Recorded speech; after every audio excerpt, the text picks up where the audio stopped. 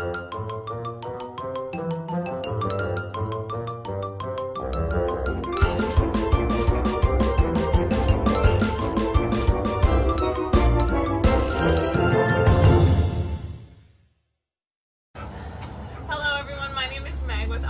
K9 Training here in Spokane, Washington, and Coeur d'Alene, Idaho. And I would like to introduce you to the newest arrival here for her two-week board and train, Daisy. She is a six-month-old pit mix puppy, and she has one of the sweetest personalities you will ever find, but a ton of puppy energy to go with it. Let's go ahead and see what she knows right now. As you can tell, does not have much of a recall. We also do not have a stable sit. Down is next to impossible. She just is too bouncy for it. We also need a place command so that she can continue to develop stability, along with heel, greeting manners. We need it all. So let's go ahead and see what she's like after just 14 days.